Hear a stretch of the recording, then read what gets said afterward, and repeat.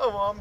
We're at the Dunluce or Dunluce Castle in uh, uh, Northern Ireland on the northern coast. We are about uh, 32 miles or so from Londonderry to the east, and this is ca this castle is famous because the kitchen, which stood right here, you can actually see the old uh, hearth right there, or the fireplace, cooking area. This is where it collapsed into the sea in 1639, and took a few of the workers with them.